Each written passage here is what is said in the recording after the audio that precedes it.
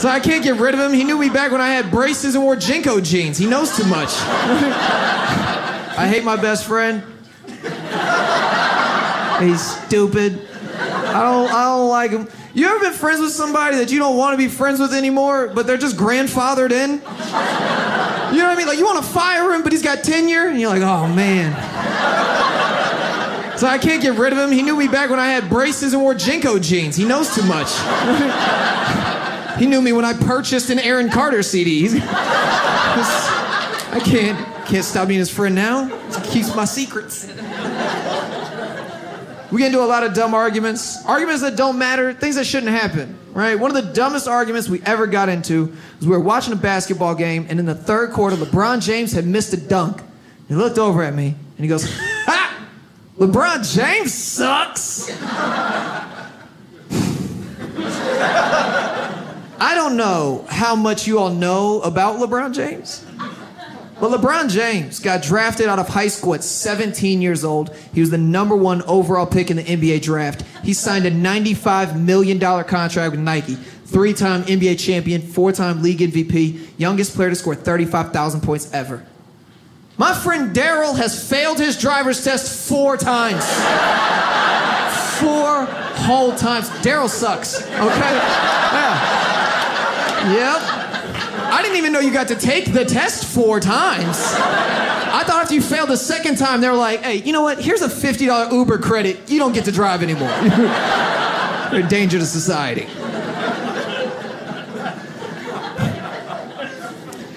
He's a dummy. He asks me he asks me questions all the time that make me reevaluate my friendship with him. Does that ever happen to you where you're like, "Pff, how bad do I need you in my life? Where you just gotta weigh the pros and cons? This dude, this is what he asked me most recently. He goes, Cam, we're friends, right? I was like, of course we're friends. He goes, would you take a bullet for me? I was like, from a gun? Are, you, are there bullets I'm unaware of? First of all, you're overly confident in my ability to take a bullet. I'm built like drywall. I'm, whoever's behind me is still gonna die. I'm not taking anything. like shooting a ghost. Do you know how mad I'd be if I tried to be a good person and take a bullet for somebody? and Be like, I'm a hero, and they still died. I'd be like, I'm a good person. Did you still die? I could have just not got shot. Could have just grieved you. I don't even got health insurance like that. This is stupid. Now I'm in debt and my pancreas is gone. This is dumb. I don't know where my pancreas is at, but that's what it got me.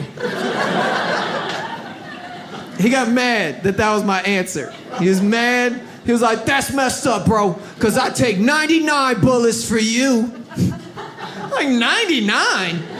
What kind of shady things do you think I'm into? To where somebody's trying to murder me with that level of machinery, okay?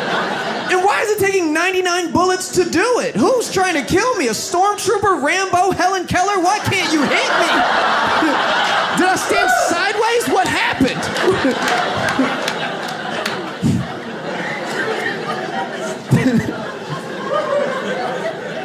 it's frustrating. 99 bullets. They don't even sell 99 bullets. It comes in like a pack of 100. Are you saying you wouldn't take that extra bullet for me? You're a bad friend.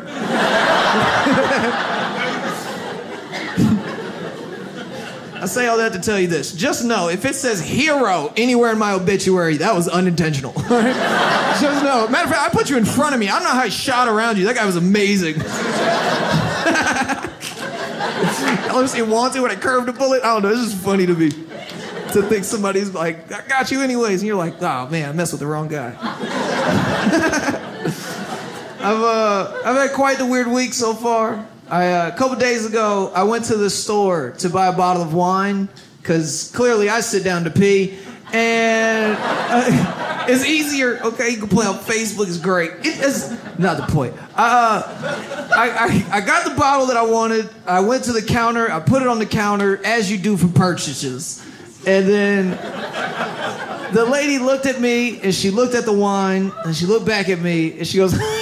No! Mm-mm. That was the whole transaction. That's not protocol, okay? You don't just get to go, no, mm-mm. You at least gotta look at my ID before you say no. I, I was upset, right? I wasn't mad that she thought I was underage. I get it. I look 17 at best, right? I look like a To Catch a Predator bait child. Like my whole job is just to set you up so I can call Chris Hansen and be like, he's in the kitchen. He thought I was getting cookies. Go get him. He's being weird. yeah, I, I look.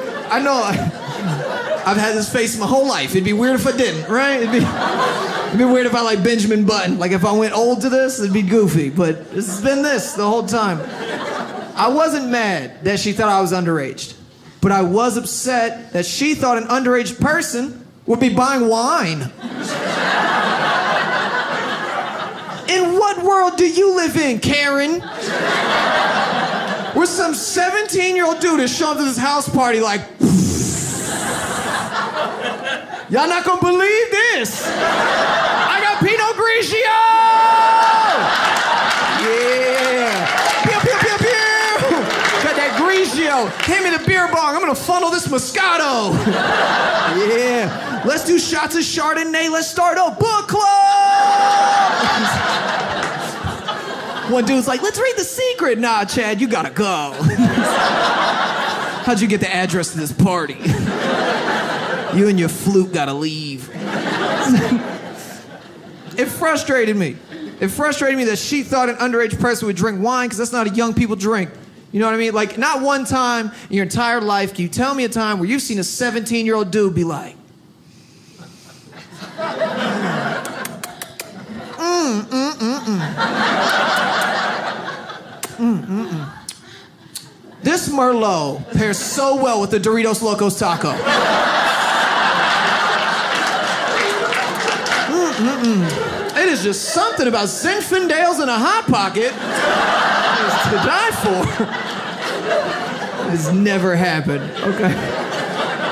You don't know a 17 year old that owns a corkscrew, okay? That is, that is a psychopath. Is- how many bottles are you popping? This- I'd rather you ID me for buying a corkscrew than for buying wine. I think there's two things alcohol wise we should stop IDing for altogether. Right, wine and bourbon. Yeah, because no matter how old you are, if you're drinking them, you've earned it. Yeah, think about it. If you're drinking wine, clearly you have a lot of emotions. You're going through some things. And if you're drinking bourbon, you have no emotions. You've been through some things. You've earned it. Daryl's dumb. I just, it feels better the more I say it. It just feels good to just get that out because he can fight and I can't tell him that he's dumb. He, uh, I hang out with him all the time. Like I shouldn't. Like I should be doing. I'm not good at time management, is what I'm saying. Like I could be back in college or getting a job, but nah. Instead, I'm like, "Mm, what's Daryl doing today? we hung out recently because I don't know if y'all saw this. It was the 10 year anniversary of Paranormal Activity, and we thought it'd be a good idea to rewatch it after 10 years. We thought it might have become a better movie. nope, still sucks. Uh, this movie, I don't know how it got worse. It was a bad movie to begin with. It's still bad now. And uh, it did make me realize two things though in watching it, right? It made me realize one, I don't care about ghosts at all. Ghosts have never affected my life in any way. I don't have ghost friends. I've never met a ghost. I don't care about ghosts. And the second thing it made me realize is that ghosts are just rich people problems. That's it. Because ghosts only haunt houses. I've only lived in apartments. Yeah. I don't care about ghosts at all. Matter of fact, if you have a house, I hope you have a ghost. Yeah, you and your 401k. Yeah, that's what you get for being financially stable. You get a ghost. That's what you get. Alright? And you know, on top of that, if you have a duvet, I hope you have two ghosts and a gremlin. 'Cause Honestly, I don't know what a duvet is, but it sounds delicious. It sounds sounds tasty. Okay, I'd eat a duvet. It sounds like it's on an Applebee's two for twenty. I'd, I'll split duvets with all of y'all. Sounds like it goes good with breadcrumbs and sriracha. I don't know. I'd eat one. I, uh, you know why you've never heard of a ghost haunting an apartment? Why there's never been an apartment ghost? Because I'll break this lease. Yeah, I don't care about this lease. I'm 25. Credit's not real to me yet. I'll move in today and move out today. Yeah? I don't care about I own seven things. It'll take me 43 minutes. Yeah, I'll move back in with my mom. She misses me. I'd feel bad if a ghost haunted my apartment. You'd be so bored. What's you gonna do? Flicker my one lamp? Look what I can do. Matter of fact, good luck. I didn't pay the electric bill. Yeah. Matter of fact, you turn that lamp on, you better leave it on, okay? I'm trying to do puzzles. I'm trying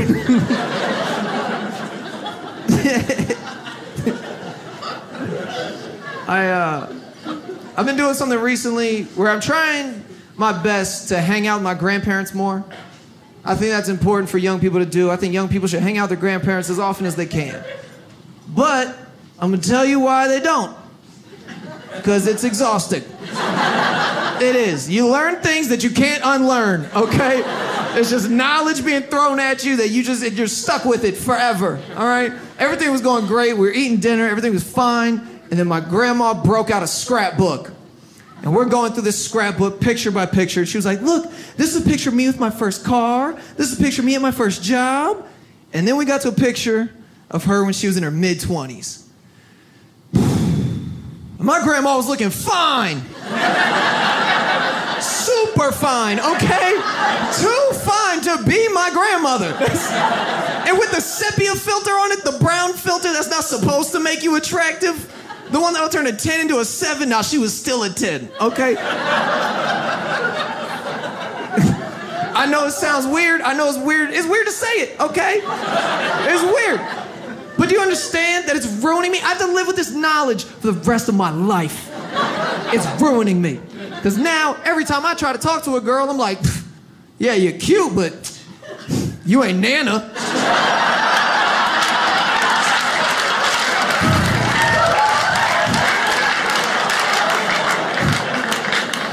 Like, yeah, I'm sure you have good qualities, Candace, but you can't make no snickerdoodle cookies. Mac and cheese recipe has one cheese in it. Get out of here, rookie.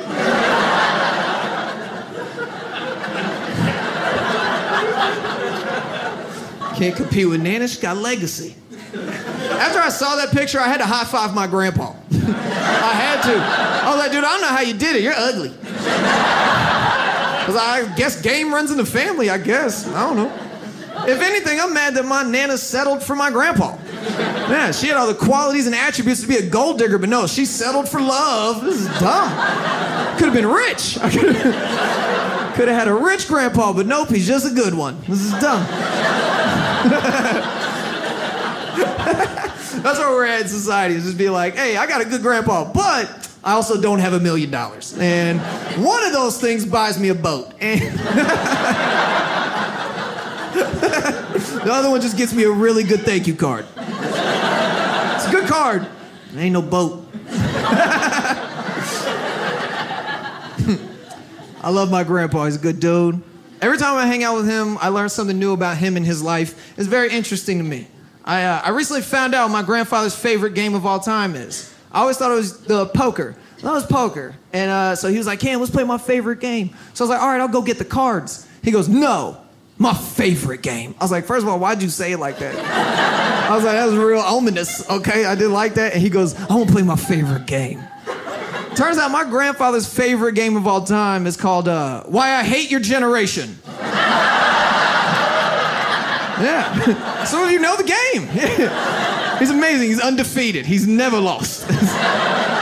He's great. He brings up good points. I can't even lie. There's good points. He's like, Cam, you young guys, you just don't get it. You don't understand what it was like. Back in my day, we used to be able to go down to the record store and get a record for a nickel. I was like, wow. You guys used to pay for your music? I was like, that's crazy, Pop Pop. I don't know how y'all made it out. y'all didn't have LimeWire or nothing? Nothing. That's crazy. I feel like I'm 12 years too late for a LimeWire reference, but that's fine. That's fine. Because those of you who get it, we all had viruses. And you know what? That's a bond that we share. we all had to throw away two computers. All because we wanted that Shania Twain album, you know? Ugh. Ain't going impressing me much. Why was it so good? Is this...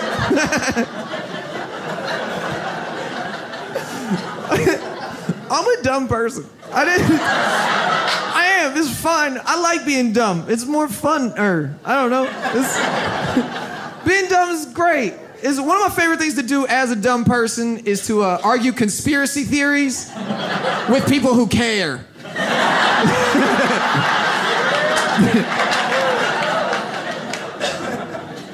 If you have 37 minutes to waste in a day, do it. It's the best.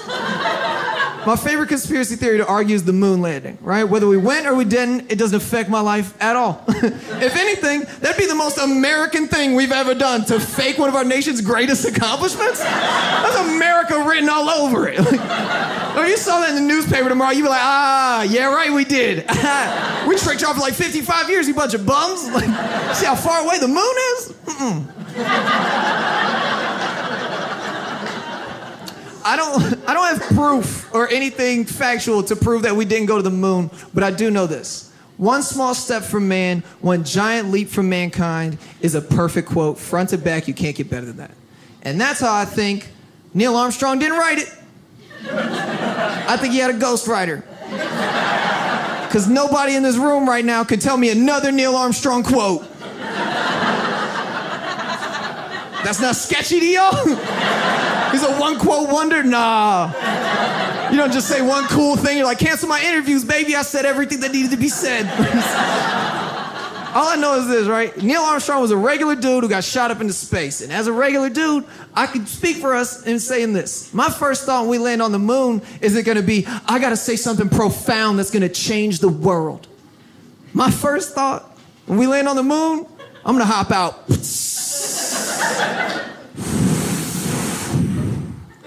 Yeah. I just want to give a shout out to Lisa Gonzalez. She didn't think I was gonna make nothing in my life. Look who's on the moon, baby. Yeah.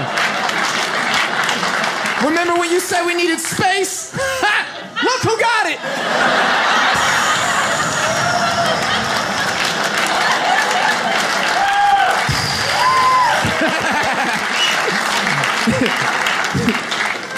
That's my ex girlfriend. I hate her. She sucks. It's, and it's good to say that on the special. Like, it feels so good. It feels so petty. Mm, I love it.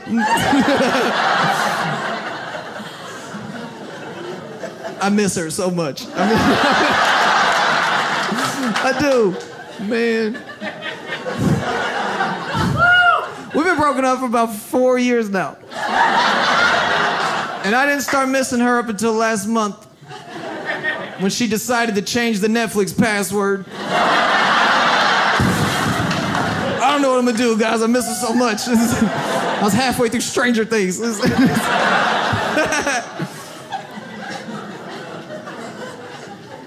we got into a lot of arguments before we broke up. We, to, we argued all the time. And uh, one of the biggest arguments we ever got into, she was like, Cam, we don't go out enough. We don't go on enough dates. We don't do enough things. She was like, honestly, I wouldn't have dated you if I knew you were this broke. I was like, what? Well, what did you think I meant when I said you're all that I have? what did you think that was? You thought that was a metaphor? I told you up front, you are my everything, okay? You and Netflix are all I've got.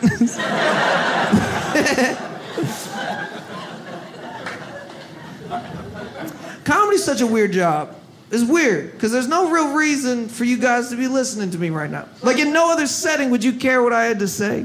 You know, like if we were at the mall, you wouldn't be like, little lesbian boy's probably got good ideas. You'd be like, ah, he looks weird. I don't know. Comedy's just weird. All I can do is think of something that's funny and give it to you in a way to where maybe you can laugh at it too.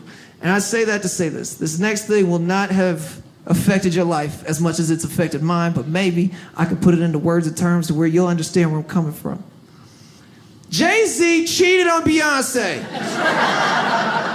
and nobody cares. And it broke my heart and my brain at the exact same time to think that a man that ugly could cheat on anybody ever, okay? And I don't know if you know how ugly Jay Z is. Don't worry, I'll tell you. I'll describe him perfectly. Jay Z looks like a Ninja Turtle. And not a good Ninja Turtle, like Donatello, the worst, ugliest Ninja Turtle. Is the one with the stick who don't do nothing? Just shows up like, I got a stick. And they're like, why are you here? Like, if they did a live action version of the Ninja Turtles, they'd be like, you think Jay Z could play all four of them? You think he has that range as an actor?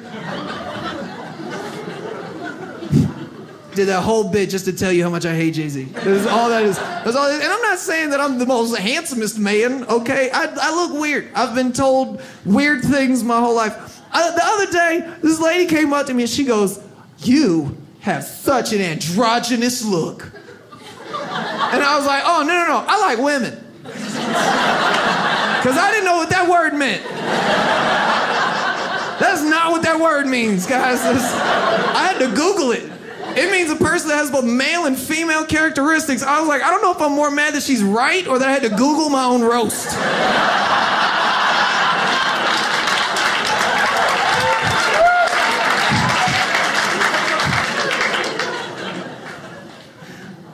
I'll tell you guys this quick story and then skedaddle. I, uh, when I was in middle school, I was getting picked on, I was getting bullied, and I didn't know how to handle it.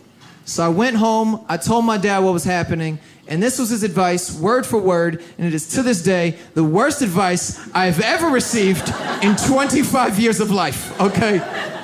He looks at me and he goes, The next time he picks on you, hit him with your lunch tray. yeah, like in a prison movie. Shawshank Redemption style. That was his advice to me. And I go to school the next day. I'm getting picked on. I'm sick of it. I stand up. I pick up my lunch tray. I hit him with it in the face. But what my father failed to tell me is that back in his day, they had metal lunch trays. I had a styrofoam lunch tray. Okay? Yeah. And you know why I had a Because this generation was giving people concussions, okay? They switched out lunch trays faster than they did football helmets, okay? This is insane. I hit him with this lunch tray. It didn't even break, it wobbled, okay? I like whooshed his hair a little to the side. I made him handsome. This is stupid. He proceeded to beat the brakes off of me. He beat me up so good, I had to respect it. Like, I was impressed, all right? He beat me up like we we're playing Mortal Kombat and he unplugged my controller. I was taking combos I didn't even know existed. I was like, how'd you do the double uppercut? Was, you're a Power Ranger. This is crazy. After the fight, we had to go to the principal's office. It was me, him, and the principal. We sat down, we told him everything that happened, and I didn't get suspended. Do you hear what I just told you? I didn't get suspended for the fight I started. The principal was like, no, no, no, you weren't even in that fight. Mm-mm. Flawless victory. That kid is amazing. He should, drop out and join the UFC right now. This kid is he's wonderful.